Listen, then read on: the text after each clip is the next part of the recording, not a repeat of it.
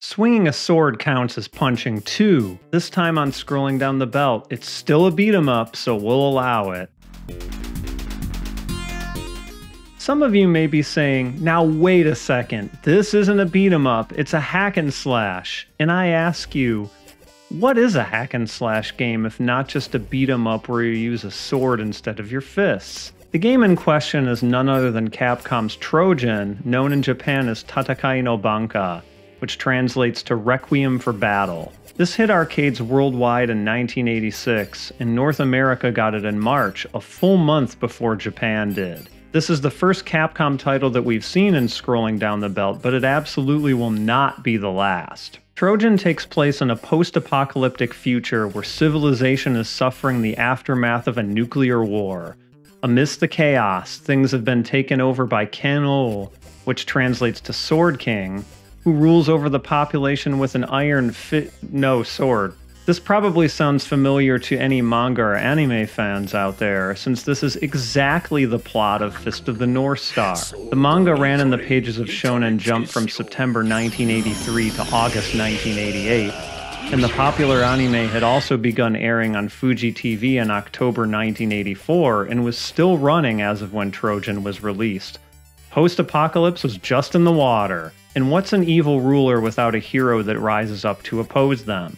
In this case, our sword and shield wielding protagonist has two different names.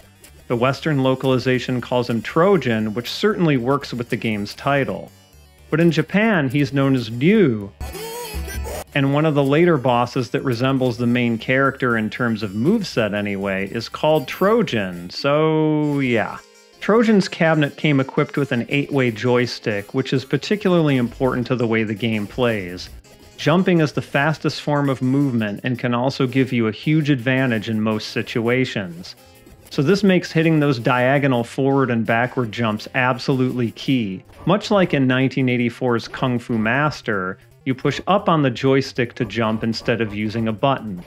But things had evolved since then, and jumping with a joystick instead of a button had become much more unusual. This certainly put some players off of Trojan, but more on that later. The game also uses two buttons, one to swing a sword, and one to use a...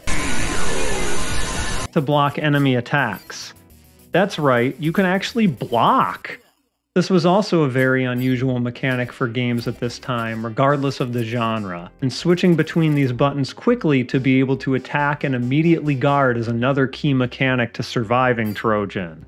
But not only do you have to be facing the direction that you want to block in and be able to manage switching between the two buttons depending on your situation, but enemies also have the ability to completely disarm you with magic balls.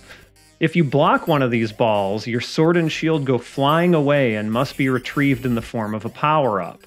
In the meantime, you can only punch and kick. Jump pads are also smattered throughout the game to allow you to jump even higher than normal. Sometimes they're a requirement to proceed through a level, but other times they're just used to be able to take out enemies that are stationed on higher ground, Though honestly, you can usually just avoid those enemies. The rank and file goons mostly consist of dudes that either wield maces, throw knives, pop out of manholes with crossbows, or drop various explosives on you from above. But as you might expect, the bosses are the real stars of the show here. Each level has one mid boss partway through the level, and then a final boss to close out that level. And they even all have names! We have axe throwing Mamushi, who usually comes in pairs. The dreaded Iron Arm, who is one of the game's most difficult bosses despite being the very first one. Rolling Armadillo Man Armadillon. Goblin, and yes, I'm hitting him on the other side of the screen here. Mace wielding Muscular. Trojan. And the Sword King himself, Achilles.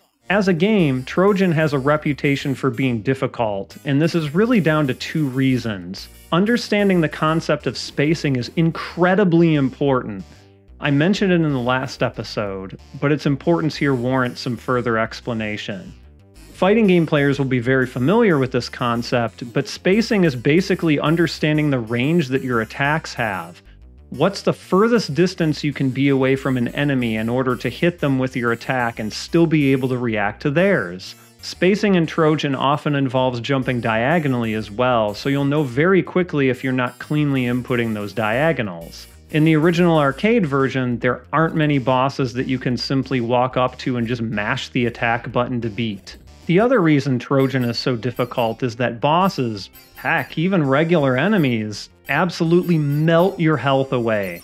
You can come into a boss fight with a full health bar, but if you're not careful, you'll be dead before you even know what happened. You'll occasionally see a power up that will restore your health, but the game is very stingy with doling those out. Not to mention the time limit can also work against you, particularly in longer stages like 3 and 5 where you have to move at a slightly slower pace. The perfect example of both of these points of difficulty is the final boss, Achilles. The easiest way to beat him is to space your jump in so that you're neither too close nor too far away and immediately crouch guard. If he also guards, you can move in on him and attack a couple of times to whittle down his health before he'll retaliate. The spacing and timing is very tight, and if you let your guard down for even a second, he'll absolutely obliterate you. If you can defeat Achilles, wait a minute, peace will probably return? Probably? Anyway, you're treated to a wonderful roster of all the bosses strutting around on screen. In this interesting message, what do you mean challenge us again from the start? That's right, there's a second loop. But this time, everything is faster and more difficult. Performing that strategy on Achilles even requires you to be darn near frame perfect in your execution. And what do you get for doing this? The same thing, but now the ending screen says thank you very much, the end instead. But where did this idea even come from? Well, it came from another Capcom arcade game, 1985's Ghosts and Goblins or Makai Mura. This game is also well known for being brutally difficult, and it established the idea of requiring the player to complete the second loop in order to see the true ending. Thanks a lot, Arthur. The director of Trojan is also someone that we've discussed before, Takashi Nishiyama. He directed 1984's Kung Fu Master at Irem, the game that basically brought about the beat 'em up genre. He then left Irem for Capcom, where he began work on Trojan. You can watch the first episode of Scrolling Down the Belt, which focuses on Kung Fu Master, for more information on Nishiyama but suffice to say that Trojan is considered to be the evolution of the ideas that Kung Fu Master presented. And of course, Trojan received some ports on home computer platforms such as MS DOS, and apparently an unreleased version for the ZX Spectrum. But the most well known of these ports is the home console one on the NES and Famicom, and surprisingly, the Famicom version went on sale a mere eight months after the release of the arcade game, and it's a good conversion too. It manages to keep the feeling of the original while also adding some quality of life improvements to make this version considerably more manageable to clear, or at least I thought it was. The levels and enemy types are mostly the same, though a few new ones have been added. The home port also adds the ability to go down into the manholes to confront some of the boss characters and collect brand new power ups. Of course, we still have the heart to restore health, but now these boots replace the jump pads of the arcade game, allowing you to leap high into the air for a limited amount of time. The S increases character walk speed, and the P powers up your weapon, allowing you to take more of a boss's health with a single sword swipe. You can also free rats to gain extra points, too. The levels in boss order remain largely the same, but a new boss was added between Trojan's final appearance and Achilles in the final level. This boss is King Shriek, and yes, the pieces of wall that he breaks off while Kool Aiding Man through it do damage you, so be sure to guard those. But best of all, the difficulty is just more lenient. The enemies aren't as aggressive as they were in the arcade version, and there aren't as many of them. It also takes considerably longer for them to chew through a full bar of health, leaving much more room for mistakes, and even allowing you to just brute force your way through certain situations. Spacing is still important, but Ryu's hitbox seems much more generous. And though most of the general strategies for fighting these bosses do carry over, a couple are very different. Iron Arm is not nearly as difficult, since you can just guard him and jump in on him when he launches one of his metal arms at you, something he didn't do in the original at all. Achilles also demands that you do a bit more hit and run with him by jumping in on him a lot more deeply instead of a more shallow jump and waiting until he blocks you. There's no second loop in the NES version, and it has these amazing anime style portraits of the bosses at the end. This port also features a sort of early one on one fighting game, a versus mode where player 1 controls Ryu and player 2 controls Trojan.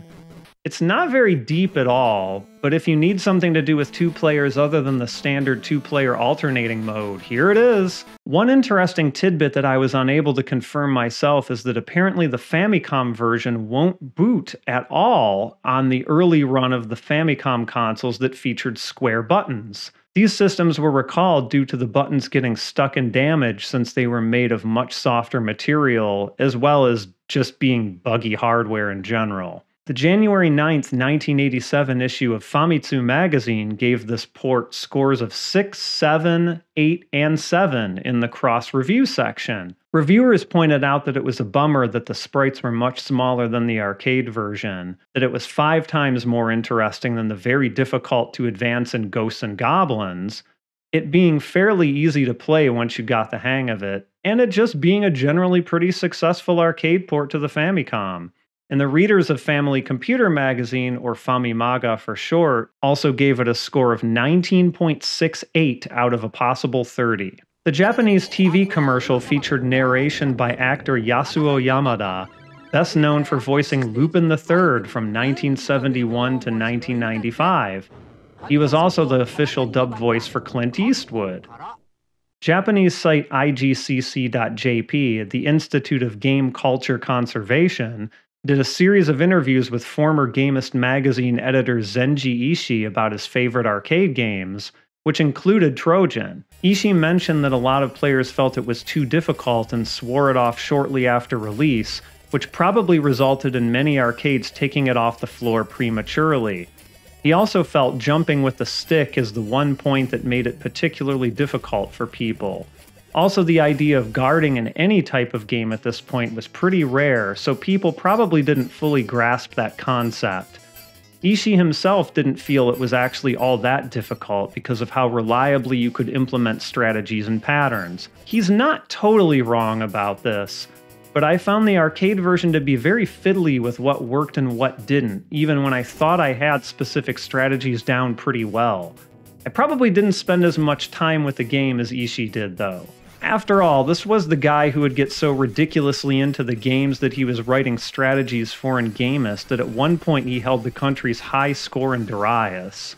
But Trojan is a fun game. I personally prefer how breezy and straightforward Kung Fu Master is by comparison, but I can understand someone being more drawn to Trojan because of its complexity and higher skill ceiling. The spacing is just a bit too precise for me at times, and the speed at which enemies can chew through your health bar makes almost any mistake a potentially fatal one. It's an important part of beat 'em up history to be sure, but if you want an easier time with it, go with the NES version.